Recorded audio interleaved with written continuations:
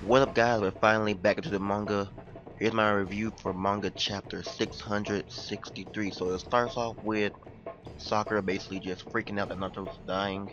And then she, like after Gaara was like kind of explaining what Kurama wanted him to do, I thought it's gonna happen because it's the only way that could save him possibly. So I thought that Gaara was gonna tell Sakura that the only way to save Naruto is to give him the other half of Kurama, which was basically true. So I'm glad I actually got that right. So they're gonna take Naruto to Nato, whatever he is, and then what was kind of interesting to see is that Sakura basically put her hand right inside Naruto's chest to freaking just you know kind of keep his heart going in a way.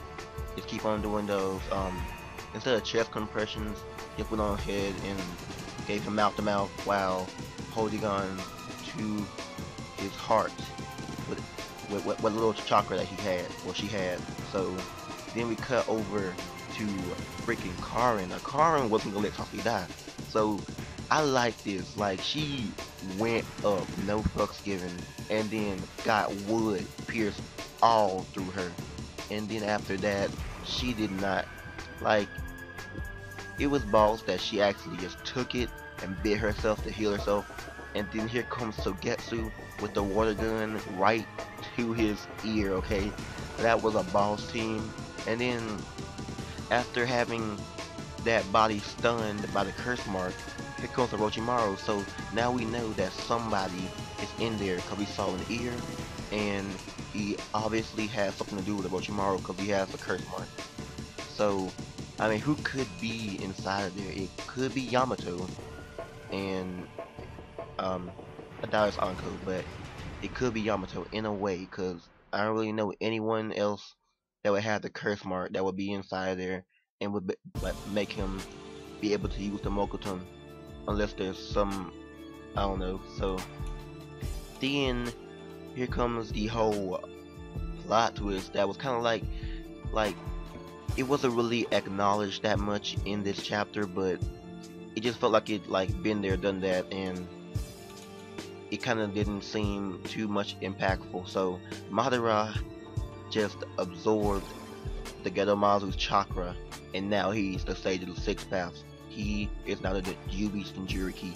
So, I mean, he still doesn't have his other eye open, so I'm guessing that there's not much he can do yet, but he's just waiting for his other eye to open up, and then he'll be able to reach his full potential in um, that mode. So, I mean, this time we didn't see the Juubi actually getting um, revived, but instead he just went on and became the Juubi's Jinchuriki.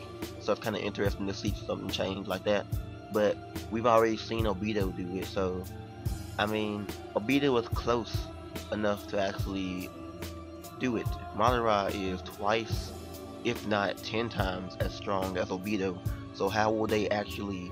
I mean, they haven't really have any significant power change unless Sa uh, unless Karin can actually save Sasuke somehow, because you know she does have Uzumaki chakra, and that probably could be enough to actually save Sasuke's life. So I can see Karin saving Sasuke's life, and I can see Minato actually stealing the other half of Kurama inside of Naruto. So that was that was my that was my prediction I had in my, my, my manga talk. I said that I think I said Kurama was gonna heal Sasuke and prevent him from dying, and Naruto was gonna get the other half of Kurama. So that's kind of interesting. I got it right. It's the only thing, like, cause it's like the only thing that could happen in a way because there's actually no one else to to actually save them. So Karin, who has to, who has Kushina's chakra, which confirmed Kushina's chakra. So Karin is somewhat of a badass, be able to like survive that blow and everything. So she possibly could heal Sasuke and save his life. Now at the end of the chapter we see feet. Now if you looked at Madara, Madara's feet, they were kind of like they were kind of shaded in black. So does that mean that he has some other clothing, like boot, not boots, but um, some other shoes on that could have been black, or was that just a shadow? Because uh, if we know Karin wasn't wearing any shoes or nothing, so she still she was still barefoot, so that could be Karin. I don't really think it's Madara because Madara probably wouldn't care too much about Sasuke right now because he's just overwhelmed with power.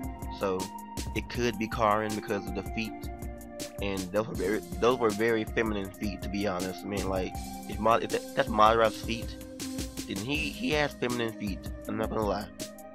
Okay, so in the midst of all this, we probably gonna get Sasuke and Naruto back. Naruto will be back to his full potential in every way, and he will be kind of like shocked and pissed off that he almost died. And Sasuke will be too. So I'm surprised to see how Kishimoto actually gives them character development for that, like make them freaking pissed or something. And Naruto, he finally got his kiss from his woman that he wanted so bad, even though he's half dead. So yeah, if I got that kiss from Sakura though, give him props for that. He did a good job. It'd be funny if Naruto just like got up and like, haha, bitch, it was my plan all along. Wanted this kiss.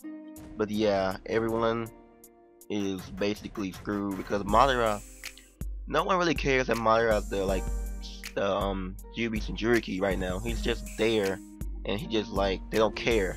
I mean all they're worrying about is Sasuke and Naruto just dying they don't really give two shits about Madara. They're like, we'll handle you later. we gotta save our main two people that can fight, okay? They're the only two people that can actually do something against Madara. So I'm interested to see how that actually folds out. So thank you guys for watching. Be sure to thumbs up for this awesome chapter. It is really, really getting great. And I'll catch you guys later. Peace.